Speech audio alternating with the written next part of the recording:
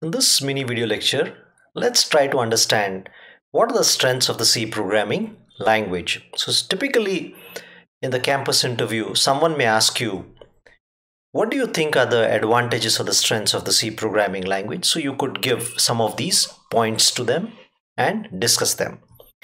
The first point is it's an extremely small language.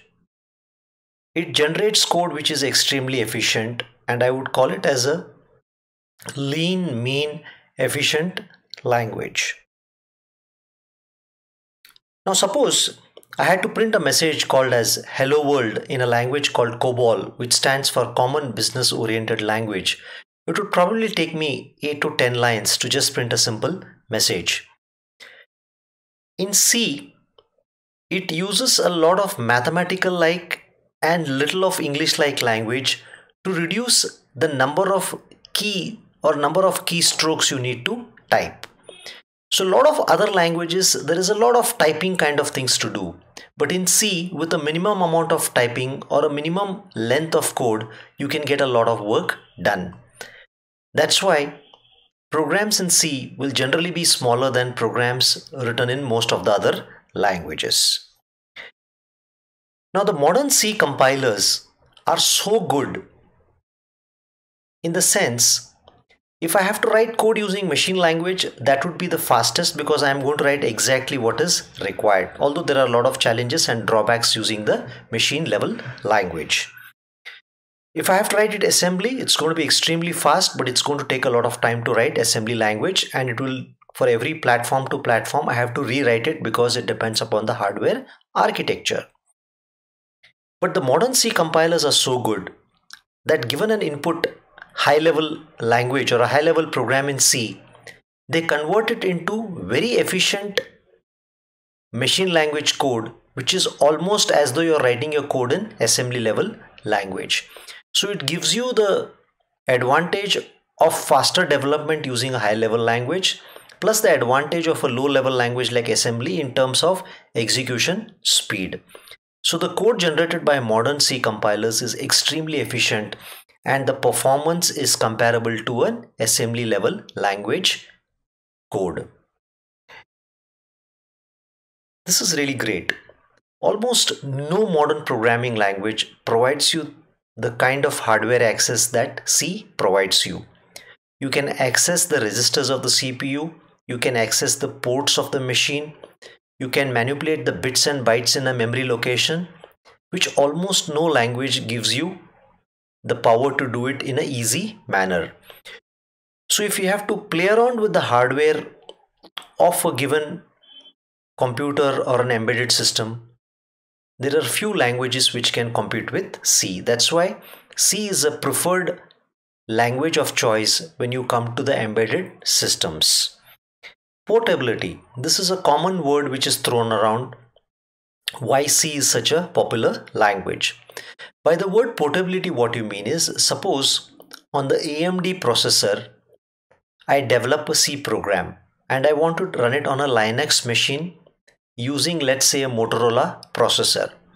So, all that I need for this program developed on an AMD processor on Windows to learn, run on a Linux operating system using a Motorola processor is I need the target machine that is the Linux operating system using the Motorola chip to have a C compiler, I just need to copy my C code onto that particular machine, recompile it, and I can easily run that particular code. So a machine uh, sorry so a code written on one machine can be easily moved around to different machines by just by recompiling and being able to execute it this is not possible with a lot of other languages because C being extremely old and popular has compilers available for almost any modern machine architecture or hardware. There are close to 50 operators in C. Operators in the sense you mean multiplication, division, addition, subtraction, moving the bit to the left, moving the bit to the right, checking whether the condition is true, greater than, lesser than. So there are about 50 operators. So you can do a lot of powerful programming using these number of operators. Now one of the beauty of C is you can do low level hardware access, manipulate the registers, the memory, as well as you can write applications like games. So C is able to give you the power and speed of a low level language as well as the ease of writing higher applications like games using languages like C++.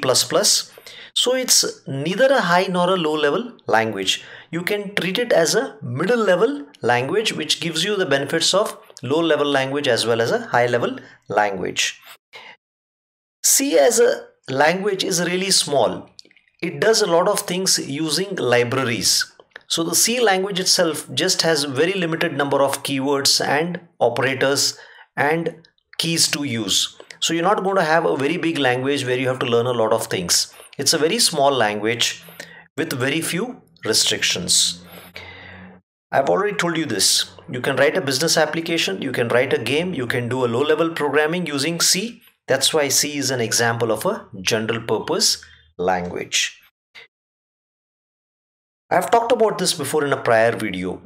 There is almost no modern programming language which gives you the speed of execution comparable to C. It is performance of C is almost close to assembly language in terms of speed of execution. Now these last two keywords are really commonly thrown around. By the word modular code what you mean is suppose I have a big program which requires me to use the square root, it requires me to use the power function. I am not required to develop all the code in one place. I can divide this problem into a number of small problems. Each problem can contribute to the solution of the total problem. So this is what you really mean by the modular approach. In the sense, the program is broken down into a number of sub-programs or what is also known as modules. And each module is supposed to deal with one sub aspect or small aspect of solving the problem. So you will get this word modular code thrown around it means breaking down a big program into a number of small programs, combining those small programs to find the solution of the complete problem. Structured. When you go to coding in assembly or machine level languages, there will be a lot of instructions called as jump, go to, here and there. Now what happens with that is assembly language code becomes extremely hard to understand and read because the code will have a number of instructions taking you from one point of the program to the other point and it becomes extremely hard to understand how the code is working or what it is doing.